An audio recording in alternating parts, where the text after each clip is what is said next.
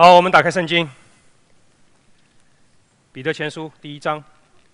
啊，我们这一次呃讲完之后，从下周开始，我们会有连续六堂，是整个 BICF 的 Small Group 的一个 campaign，是讲那个上帝的故事系列。那我们会在中间停顿，有连续六次的系列讲道，是跟那个小组查经有关的。啊，希望每一个小组都跟啊，这是 BICF 长老的规定。每一个是 BICF 的小组必须跟啊，也包括 IMS。好，我们一起来念第一章十七到二十一节。是，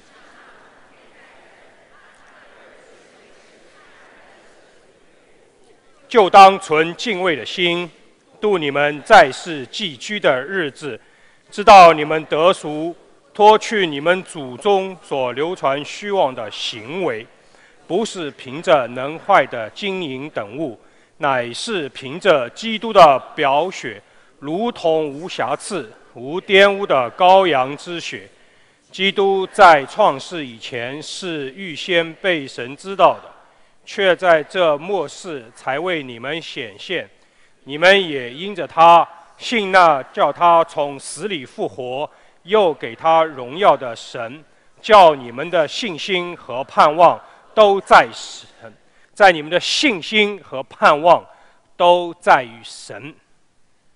呃，这一次的诺贝尔文学奖在第呃呃礼拜五的时候已经颁布了，那还是令我很失望，因为我比较欣赏的两位作家都没有得奖，啊，是给了一位啊法国的作家，那是这个作家的作品，那个诺贝尔文学奖给他的评语是他的作品换取了人们对不可捉摸的人类命运的。记忆，啊，是非常一个伟大的作家。但是我个人还是比较欣赏村上春树，啊，那可惜的是，呃，诺贝尔文学奖的评委觉得他的作品比较缺乏，特别他的文字比较缺乏深度，啊，我不知道我们坐在座的日本的弟兄姐妹怎么样感觉啊？但是另外一位，我觉得文字很有深度，可能太有深度了，你看三遍都不未必能够看得懂的，就是米兰昆德拉的。啊，生命中不可承受之轻的作者，那他也没有得奖。那我我记得我在读他的这卷小说到他最后一部分第六部分的时候，其中有一段是特别描写到斯大林的儿子的死因啊，斯大林的儿子怎么死的？那当时在西方的媒体上就爆出来，那是因为啊他在厕所跟英国的军官发生争执，因为他他自己认为是斯大林的儿子嘛，可能。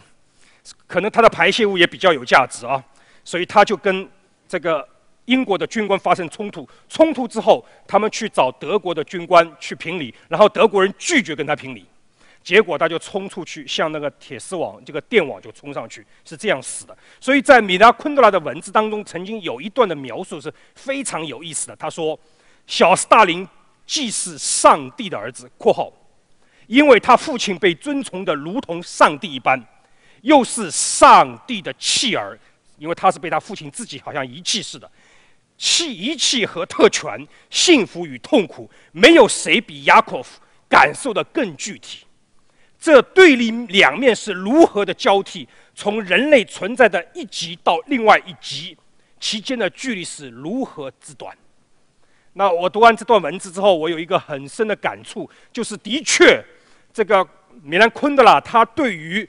这个雅科夫的描写跟耶稣基督的生命当中有一些片段是很相似的，因为他们都是贵为最尊贵的，至少曾经一度雅科夫是被尊为像上帝的儿子一般的在苏联。但是他们当他们非常有特权的时候，他们都放弃了自己的身份，来到最卑微的环境当中。斯大林把他的儿子也送上前线，最后是被德国人俘虏。他是一个非常优秀的战斗机的驾驶员，而且他们都是在三十多岁的时候牺牲掉或者死掉。但是呢，你在仔细思考这两个人的时候，你会发现有些地方是很不同的。因为一个人死了不到七十年，今天已经很少有人再会提起他；而一个人他死了两千年，直到今天，有亿亿万万的人还在称颂他。当我们今天。在思考这两个人为什么而死的原因的时候，你就会发现，那实在是轻跟重的两极。而这两极的距离是何其的大，何其的大！当耶稣基督他是为人、为人的罪、为全人类的罪而奔上十字架的时候，雅科夫是为他自己的排泄物冲上电网。所以在这两极当中，就导致了这两个人完全不同的最终的命运归宿在人类记忆当中的存留。你懂我意思吗？在这里你就看到为什么两千年后我们今天还在读圣经，我们还是要去寻找 the big story。上帝的故事，而在这个上帝的故事当中，又怎么样去曾经发生的历史当中的一些片段，成为人类记忆当中最美好、最重要、最拯救性的篇章？对今天人的价值和意义在何在？而这就是为什么我们在一起在看彼得前书，它作为整个这个上帝的故事的片段当中的一页，它成为了我们今天的生命跟行为的手册。彼得前书一章十三到十六节，上次我们讲到的是什么？我们的生命是怎么样为圣洁而预备的？我们是怎么样为圣洁的生命而预备的？教导的时候，到今天，我们就进入怎么样有个圣洁、敬畏上帝的生活。所以，我们的主题就是什么？敬虔的生命，敬虔的生活。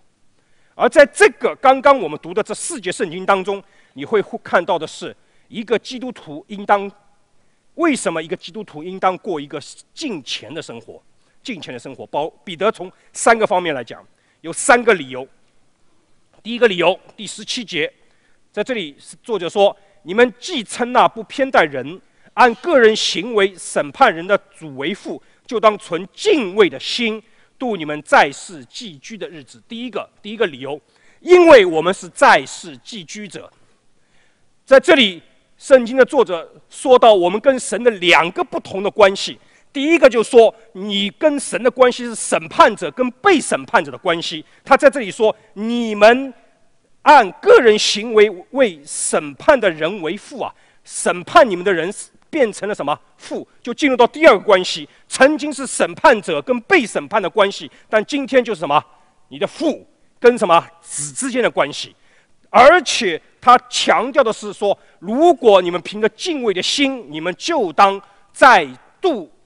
度这个在世寄居的日子，所以在这里你就看到一个很重要的一个观念，就是寄居的观念。在这里我们看到的是，我们基督徒在世上的生活跟所有的人不一样的地方，乃是我们很清楚的要知道，你是在世寄居的身份。你知道“寄居”这个词什么意思吗 p a r o l i a 这个词是旅行者，这个词是一个居住在他乡的意思。而这个词在里面还有一个意思，就是说我们在这个世界上的生活、生命，就像一个什么旅行者一样的，是一个过客一样的。这就彼得在这里所说的一个重要的信息。你知道这个词的词根后来就引申为英文，英文有一个词叫 parish，我不知道大家知不知道 parish。parish 这个词，我们中文把它翻成什么？叫牧区，因为我们在知道，这在西方的这传统的教会当中，有三个不同的 level，一个叫 congregation，堂会，堂会上面就是什么 parish，parish 上面是什么 diocese 教区，教区要有主教，parish 有牧师，堂会还有驻堂的牧师，对不对？所以 parish 这个词就是从 paroia 这个词而衍生来的。它在这里感觉当中，我看到有三个层面的不同。第一个，第一个就是生命的态度，生命的态度。寄居首先是一个生命的态度。你看待自己在这个世界上，你最基本的态度是什么？你是一个长期在这里居住的人，还是一个暂时、临时聚居的人？呃，我们在很多的呃圣经的经文当中没有看到，但是在一些旁经当中，你会看到耶稣有其他的语录。耶稣在其他语录当中有一句话曾经很有意思啊，他说：“我们在世上啊，如同桥梁。”他说：“我们在这个世上的日子就像桥梁一样，我们是过桥，是从这个世界的这边透过这个桥梁要过到什么天堂去。所以他说，没有人会在桥梁桥梁上面建筑房屋啊，没有人的。你如果在这个桥梁上建筑房屋，你就太傻瓜了。”但是你应当是什么？是在天堂里面去建造你的房屋，这就是寄居者的心态。第二个，第二个，这还是一种生活的方式，生活的方式。今天我们在这个世上，我们看我们自己是怎么样的一种生活，我们的生活的方式应当是如何？你是一个长期居住者，打算是很不一样的。我们我们呃，常常有的时候呃，我自己在国外生活了二十多年，但是我始终觉得我的家在中国。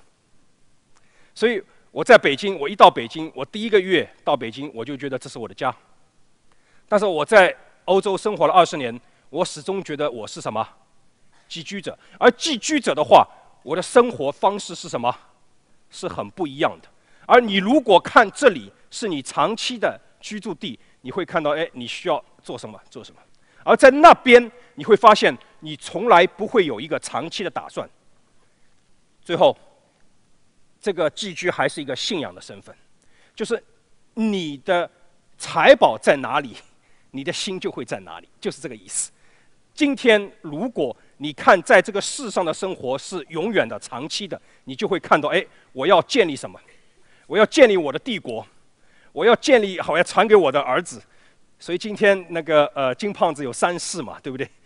因为他要传下去嘛，对不对？他们要就像秦始皇一嘛一样，要要万万世万代嘛。但实际上是不可能的事情，因为我们每个人在这个世上都是什么？暂时的生活，所以不要太胖，胖的心脏不好。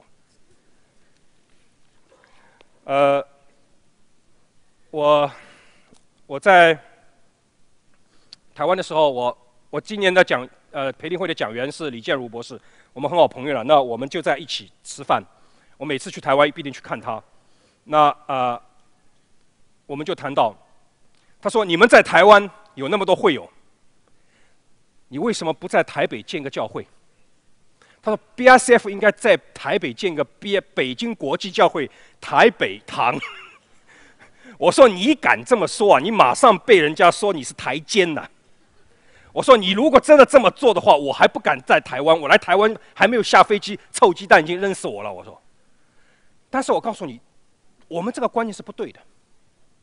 如果你看你是寄居者，你会发现在这个世界上没有什么台湾基督徒。”中国基督徒之分没有的，只有基督徒，没有什么白人基督徒、黑人基督徒、黄种人基督徒，没有的，只有什么一个身份，我们都是在世寄居的什么基督的门徒，只有一种身份，一种信仰身份，就是我们是基督的门徒的身份。而如果你死死抓住这个身份的话，你会发现，人种的、语言的、文化的。都是区，都是不是那么重要的，这也就是为什么 BICF 美丽的地方，这就是为什么我们在一个主日的时候，我们有菲律宾的牧师在，我们有日本的牧师在，我们有美国的牧师在，我们有中国的牧师在，我们在一起领同一个圣餐的时候，你会发现，在基督里没有什么南海问题，没有什么钓鱼岛之争，没有什么两岸的问题，只有什么罪的问题。只有我们人性的罪，使我们要夸张我们不在基督里的那些东西；只有我们死死的抓住我们自以为最重要的东西，根本跟永恒没有关系的，而使我们忘记了我们在这个世上只是匆匆的过客，我们只是暂时的寄居者，而却忘记了忘记了我们永恒的身份，忘记了我们这个城根本不在这个地上，是在什么天上？希伯来书所说的。而也就忘记了，我们是客旅，是寄居者。这无论在旧约的诗篇，还是历代志，还是在新约的彼得的书信当中，都是一而再、再而三所强调的。今天我们来到这个世界上，你会发现，很多时候我们把我们的房子造得好好的。我、我、我、我操！有有的时候，我每年回去我的乡下，我不造了一个小房子吗？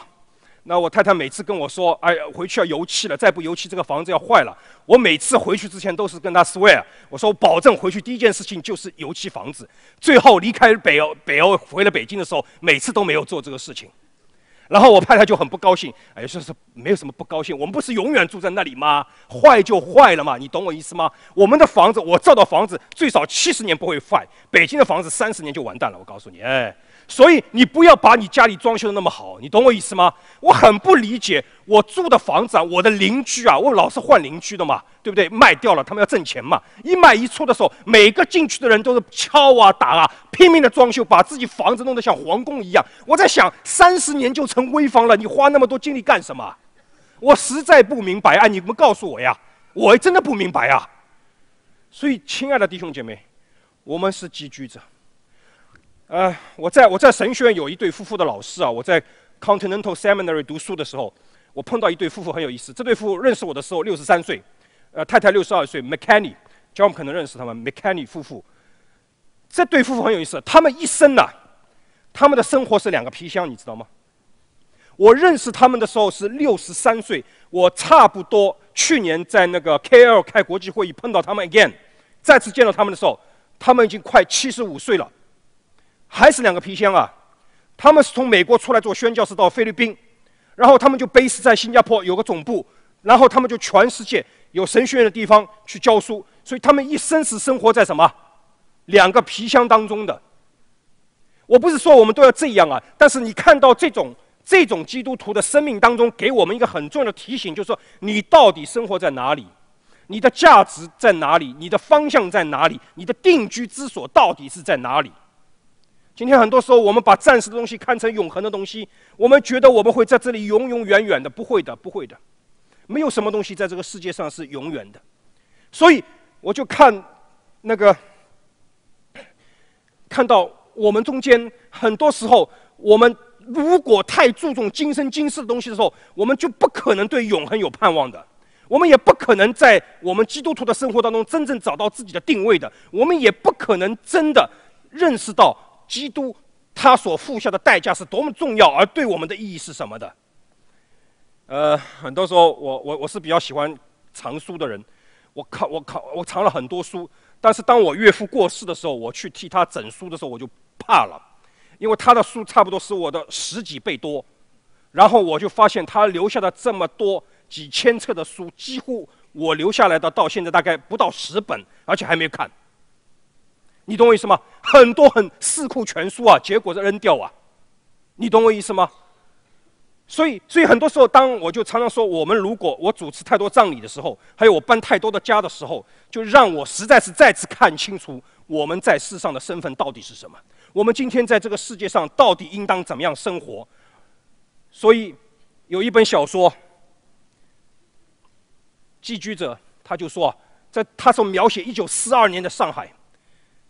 他就说，在这个小说里面，你会看到有日本人、有亚洲人、有中国人、有欧洲人、有犹太人、有美国人，都聚集在四零年代的上海的时候，哇，好丰富啊！但是他就在这个小说里面就提到，他说没有一个人，还有对，还有苏北人，上海人最看不起苏北人，还有上海自己人。你们上海人又怎么样？你看不起苏北人？你们中间没有一个人能够逃脱一个寄居者的命运，而且你们中间没有一个人能够逃脱的是，你不能够掌握你明天，你连自己明天你会在哪里，你的生命会怎么样，你都什么不知道？这就是寄居者。但是如果你知道圣经里面讲的寄居者，就是一个什么，心中有一个家乡，他不是没有家乡的。圣经里面所讲的寄居者，他知道他住在哪里的，他只是不住在这个地上啊，他住在什么天上的耶路撒冷呢？所以这就是犹太人这个观念是从旧约犹太人一直来，亚伯拉罕一直就是在世寄居的，对不对？一直到了耶路撒冷，一直耶路撒冷毁了之后，犹太人被流放到世界各地的时候，他们还是很清楚知道，所以每一次他们建会堂，无论在欧洲、美洲、亚洲。在上海，甚至他们建会堂 （synagogue） 的时候，他们只有一个方向，是对着耶路撒冷造的。所以他们一进这个会堂，正对的这一面一定是什么？朝向耶路撒冷。而且他们在这个世界上任何一个角落，犹太人碰面的时候，最后 say goodbye。他们说明年我们在哪里见啊？我们在耶路撒冷要见。因为什么？他们知道，在这个世界上任何一个角落都是什么寄居的，所以一九四八年他们一定要什么？一定要复国，因为他们要建立他们自己的国家，不要再做寄居者。而这个观念到新约被彼得拿过来的时候，乃是告诉我们：我们在世上都是寄居者，我们要住在什么天上的耶路撒冷。所以你无论在哪里，你无论在哪个角落，你要很清楚的知道。你不是什么，你是中国人，你是日本人，你是美国人，你是非洲人，但是你最终的什么家乡是在天上。如果你看到的话，你会看到你的你有很多超越的观念，你就看到很多很多别人看不到的东西。第二，十八节说，知道你们是什么得赎，脱去你们祖宗所传荒宴的行为，不是能凭那能坏的金银等物，乃是凭着基督的宝血。第二，你还要知道，你如果你知道你自己是被赎者的话，他保彼得在这里用了一个词，他说：“你们既然得赎啊，哎呀，这个词非常重要。”彼得用这个词有一个大的背景，这个背景就是什么？在罗马帝国时代，在罗马的时代有很多的奴隶，而这些奴隶如果他们得到自由的话，他们通常要做一件什么事情？他们必须去到当地的庙堂。他们的 temple 里面，向他们的神去奉献一笔很大的什么赎金，而如果你这个赎金付掉之后，你表示你这个人在这个世界上你就什么自由了，但是同时你就成为这个神明的什么奴仆。这就是我当我读到这段的时候，我突然就明白为什么保罗自称他自己是耶稣基督的奴隶。因为在我们中文圣经说把它翻成仆人嘛，但这仆人这个词的翻译不精确，因为 doulos 这个词实在就是什么 slave 奴隶啊。当保罗说我现在离开了那个原来的罪恶，被耶稣基督的宝血买赎回来，成为什么主耶稣基督的奴隶的时候，他的背景就是在当时奴隶得自由要付赎价的。是在这么一个背景当中所讲的，所以引申到教圣经里面来的时候，你就会看到赎回是要什么付赎金的。这就是彼得前书一章十八节所说的：“你们赎回 ransom 是一个什么价格？要付一笔 ransom 给谁？然后你什么得到自由？好了，问题来了，很重要的神学问题，我在这里就讲，我平时我不讲了，因为这里面稍微深一点点，我讲好吗？”这个 ransom 付给谁了？这个赎价付给谁了？付给谁了？付给撒旦了，是不是？是不是？你你点头，你不你要勇敢一点点头嘛？你知道你一点头，表示你跟古代的教父都认同了，你懂我意思吗？古代最早二世纪的时候，有个教父 Oregon，他就说啊，耶稣基督他钉死在十字架上留下的宝血是什么？替我们这些犯罪的人付赎金给了谁啊？给了撒旦。为什么呢？因为当亚当夏娃犯罪的时候，是把我们整个人抵押给了什么？撒旦做人质，所以撒旦就很凶啊！你们都得死啊！因为什么？你们伏在了我的权势下嘛。所以罪的权势你们在哪里？保罗不是说了吗？当他耶稣死里复活，但是当耶稣从死里复活的时候。他就打败了那个掌死权的魔鬼，对不对？所以呢，古教父他们就认为，哎，这是上帝用了一个诡计，把撒旦打败了。为什么呢？撒旦以为控制住耶稣了，就把人放了嘛。但没想到耶稣他妈他从死里复活了，所以他是控制不住了。所以到了四世纪的时候，格里格里高利尼撒的格里高利，这三个最重要的东方教父之一，他就。进一步的扩展，他说：“当耶稣从死里复活，这个事情就好比什么？做了一个比喻，就像这个鱼钩啊，前面有个诱饵，耶稣的人性就是这个诱饵，而这个钩就是什么？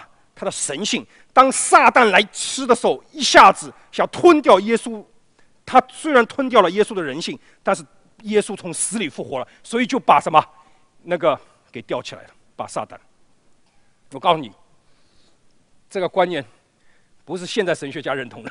他统治教会，说我们付赎金给撒旦统治教会一千年，一直等到这个 Canterbury 大主教，这个在十二世纪的时候 o s m a 他认为不是，他说耶稣死是满足上帝的公义的需要，所以什么我们得到释放。但是这个思想后来就影响了加尔文、路德，一直到今天很多。但是这个思想缺少了什么？他们纯粹从商业交换的一个或者法律的层面去什么去理解神学，有缺陷。一直等到我们隆德学派，我昨天这个呢，真的我不跟你开玩笑，我我很我很骄傲，我是隆德学派唯一训练出来一唯一的一个华人。我们的隆德学派的创始的三位主将之一，那个 Gustav Olin，他写了一本，因为这部书 Christus Victor，你们去查 Christus Victor 这本书，使他名列世界最顶级的神学家的行列。这本书说不是的。他说：“耶稣基督他牺牲不是在跟魔鬼做做做什么做交易，而是什么？他彻底摧毁魔鬼啊！你根本不可以让魔鬼的这个价值观跟人的价值观、公义的价值观去去去去比较，那是不对的。而耶稣基督他之所以可以 conquer 的魔鬼，是因为什么？他爱人，以至于他愿意牺牲。整个的思想，乃是说。”我们今天的赎价是什么？不是付给魔鬼的，而是什么？就引来了这个 ransom 的第二个观念，而这个观念也是古希腊常常用的，就是什么？得到释放，不是单单赎价，不是单单这个赎价，不是单单付钱的问题，更是一个什么？是得自由的问题。所以今天我们可以得自由。是因为耶稣的牺牲，是因为爱的缘故，是因为耶稣把他自己付上的代价，凭着他的宝血。所以在这里说了一个词啊，宝血。你知道，整本圣经里面，宝血这两个词 （timios），宝贝，跟血连在一起，只有在这里用过。整本圣经只有这一个地方用过宝血，所以可见它的重要性。所以耶稣基督的宝血已经什么？是超过金银任何物质的，使我们什么可以得到释放，使我们可以得到什么拯救。今天，而且很有意思，我看到“宝宝”这个词啊是单数的，是单数，而且呢，整本圣经只用过一次，就在这里，那是提醒我们，耶稣的宝血使我们可以重新得到释放，得到神的接受，只有凭着耶稣基督，只有他一个人。呃，我们今天很多时候，我们发现，我们没有办法活出一个耶稣基督所希望我们有的敬虔的生命，而很多时候就是因为我们并不认识到这种宝贵。我前两天看了一本书，是专门想写写写谁的呢？是写耶稣的弟弟雅各，就是雅各书 James 那本书，他的作者。我们这本书专门是写雅各死前后，就公元六十年到六十二年这段时间，在巴勒斯坦，在中东这个地方所发生的事情。你知道雅各怎么死的吗？雅各的死啊，他是受石刑，就是被石头砸死的。但很多时候我们在看一些参考书的时候，看到这里就没有了。那他为什么会受石刑？其实是跟当时整个圣殿的祭祀的制度有关。因为我曾经在几次以前讲过，当时整个圣殿的祭祀制度已经什么腐败了，而且大祭司控制了什么整个圣殿的祭司的整个的系统，甚至什么在圣殿里面做买卖，甚至在圣殿里面换银钱，而这些事情在公元一世纪的时候很普遍。这就是为什么我们说你不可以在教会里面什么做生意。我今天还特别要讲一次，因为上一次有很多人没有来。我还是再次讲一次，BICF 的教会，BICF 的下属的小组，不允许，不允许任何商业行为，不是因为我们单单我们教会的规定，是我们教会的规定，是圣经明确规定。而这个雅各的死跟这个事情有关，因为当时的大祭司他被贿赂，他甚至跟罗马人做交易，他甚至什么盘剥当时普通的百姓。整个的祭司的系统相当混乱的时候，有一个人站出来，这个这个人就是什么？就是雅各，耶稣的弟弟，他就指责大祭司，所以当时这个大祭司就一直想杀他。就在公元六十二年这个时间点上，罗马的总督调任，中间有几个月不在的时候，他们就抓住这个机会把他打死。而也因为这个事情，后来引起什么？当时耶路撒冷的很大的混乱。那今天我就在想，就说。为什么我我我我在看？很多时候我们来到教会，有很多人，我们带着不同的目目目的而来。我很多时候我发现，我们很多时候我们为了是认识多一点人。我想我们我们最基本的一个动机是有问题的。你来到教会，你不是为了什么敬拜神？你来到教会，你不是为了觉得自己有罪，希望神在这个礼拜天，急着他的宝血可以接近你，可以让你的心灵再一次的什么，可以得到纯净。可以重新得力，可以重新面对下个礼拜的生活。你很多时候来到教会，来到小组，你发现有些人他为了是做生意而来的。你有的时候你会受到很多很多时候你会觉得，耶稣的宝血到底它的功用在哪里？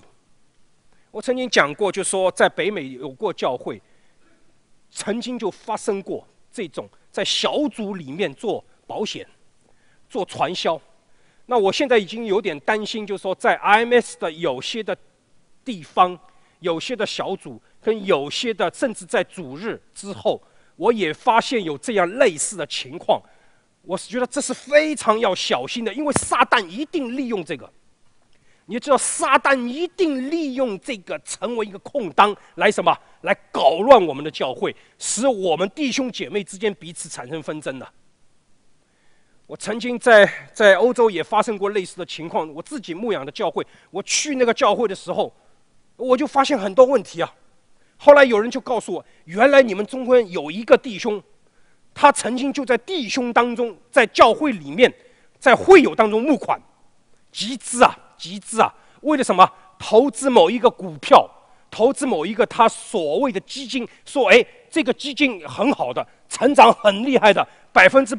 多少的回报率？结果很多人就去了时候，你会发现带来一个问题：两年以后，这些钱都有去无回。而当这个两年之后，很多弟兄姐妹就发现，这个集资的人，他的房子越做越大，他的车子越做越好。很多人，我不一定哦，不一定说我说他一定又骗了大家的钱呐，乃是说很多的疑问就这样产生了。而因为这样的疑问的产生，产生纷争了，开始人跟人之间的关系出问题了，然后小组就乱了，然后整个教会就开始乱了，以至于有一些人就离开了，还有一些人慕道友因为看到这种情况，就开始说这样的人他还在教会里面。所以，亲爱的弟兄姐妹，我们很注意，如果你很清楚的知道你是耶稣的宝血买书回来的时候，你会发现，哇！你不能够做这种事情，你不应该做这种事情。如果你曾经做这种事情的话，我劝你赶快悔改，还来得及。如果你不是不听的话，我告诉你，很多很多时候，当神的咒诅打下来的时候，那很可怕。因为我看过，我真的看过。最后，在这里，第二十节到二十一节，基督在创世以前预先被神知道。却在这末世才为你们显现，你们也因他信那叫他从死里复活，又给他荣耀的神，叫你们的信心和盼望都在于神。最后一点，最后一点，为什么我们能够有一个见钱敬虔的生活？当如果你真的明白你自己是个信仰者，他说信心和什么盼望很有意思啊。信心跟盼望，它这个里面只用了一个冠词，或只用了一次，就是说，在信心前面有定有冠词，在盼望之前没有，什么意思啊？乃是说信心跟盼望实际上是什么一件事情？你说是不是？好像有点不同，但本质上你会发现是什么？是一件事情。因为当你有信心的时候，你就会什么？有盼望啊，而你因为什么你会有盼望？是因为什么？你有信心啊，所以你就看这个事情是什么？一个硬币的两面，信心和盼望，好像不同，但实际上就是一个硬币的两面。因为我对耶稣基督有有信心，所以我知道前面是什么，是蛮有盼望的。呃，我我我在读了一个一个书当中，是特别讲到前苏联一些事情。当时呃，前苏联家庭教会很多很多的压力，那么在教会的生活当中，那很多人聚集。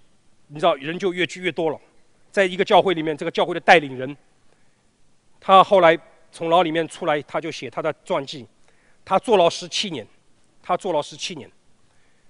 那么在这十七年当中呢，他每天早晨只做一件事情，他一起来就唱什么？唱赞美诗。而且这十七年当中，他每天的赞美诗都是同一首。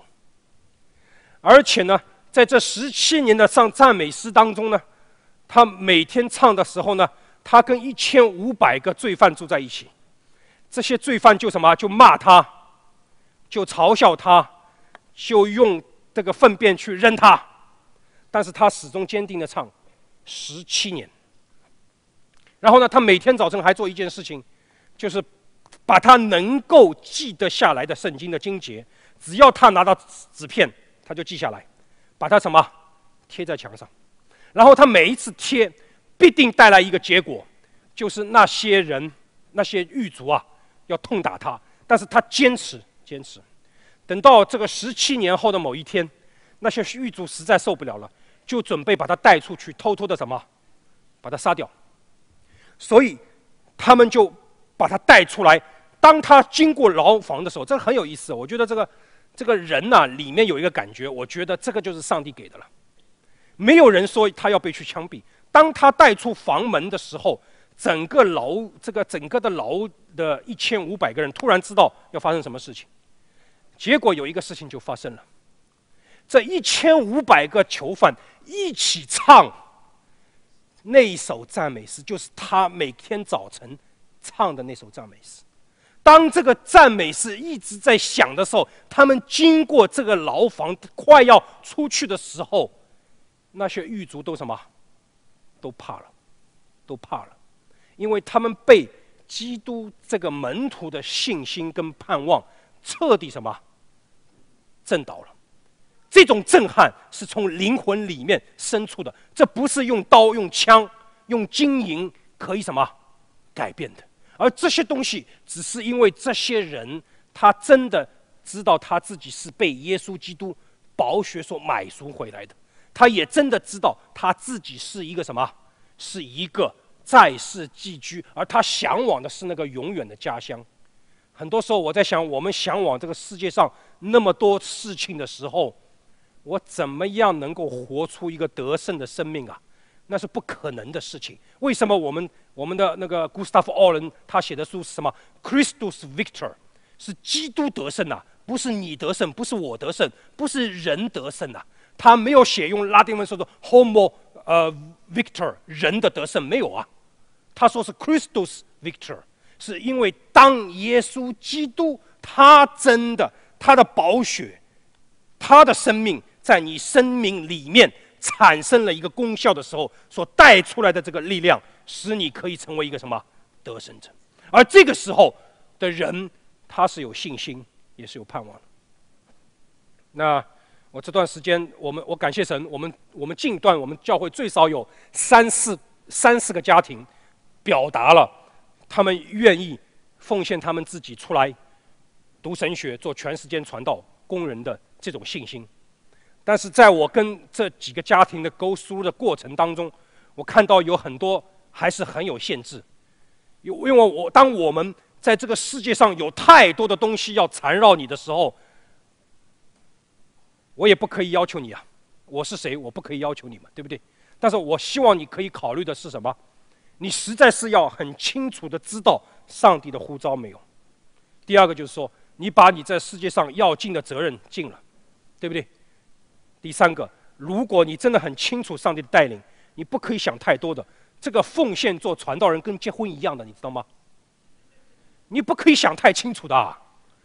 你如果你是算公式，哎呀，这个满足没有，那个满足没有，这个条件怎么样？这个女人是不是身高一米零一米零几，一米零几我是不要的，对不对？那个男的是不是两米二十以上？那我也不要的。那我告诉你，如果你这样的算，那是谈条件，你是在跟神谈条件，你不是奉献你自己给神。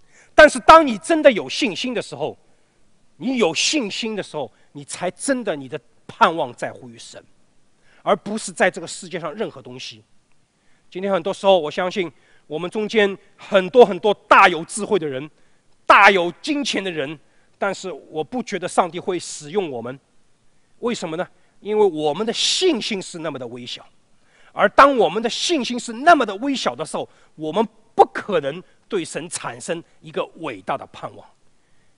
我们有信，但是很可惜，很多时候我们没有心啊。所以我们说，我们中国人，我们中华民族现在说是我们一个是个信仰缺失的时代。最新的统计都是在说嘛，第一、第一、第一、第一重要的就是信仰缺失。现在，但是你仔细再。进一步的话，你会发现我们中间有很多的情况是什么？我们有信，但是我们没有心啊。我们说信心嘛，对不对？要有心才能够真的信。但是你会发现很多很多时候我们有相信。你说你相信吗？我相信，但是你的心在哪里？你的心是不是跟你的信是一起走的？很多时候我们说我们有信仰，我们信仰耶稣基督，但是对不起，我说你有信，但是你没有养。你有养吗？仰是什么意思啊？你要仰望他，所以这个盼望就是一个什么？仰望的意思啊！你有相信，你用你的理智，甚至用你的头脑都想通了。哎呀，这个耶稣真好，我相信他。但是你没有仰望他，你有没有仰望他？第三，我们有信，但是我们没有德。什么意思？信德吧，德实际上是一个什么？是一个行动。我们有相信他。但是我们没没有我们行动出来，使我们这种力量看不到。所以，亲爱的弟兄姐妹，仰望他吧，不是单单相信他。你只有把你的生命投身在这个信仰当中，你才是真的什么？Feel exciting，才是真的你知道上帝是多么的美妙。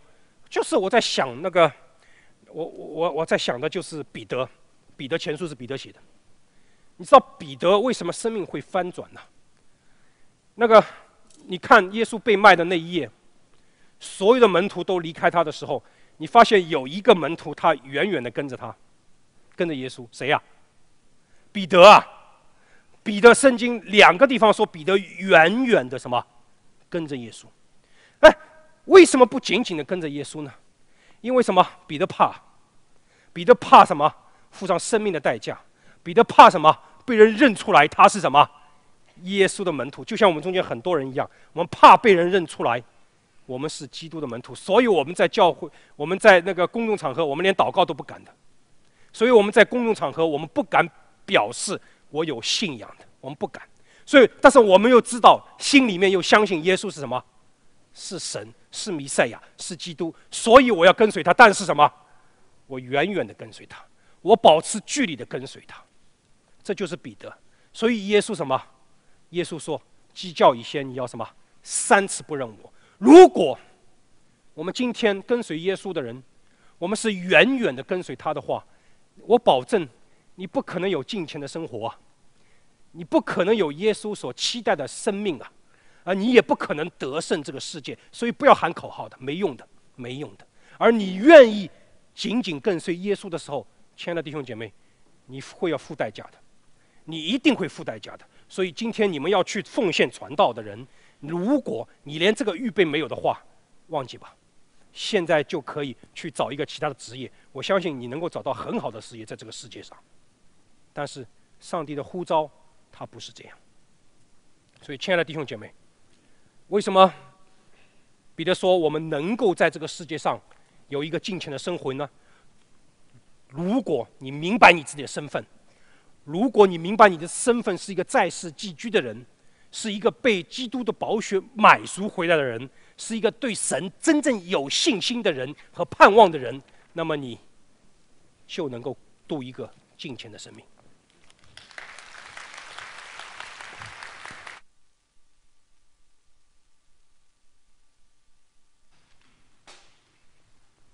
感谢李牧师带给我们的信息。呃，现在是我们收取奉献的时间，请我们。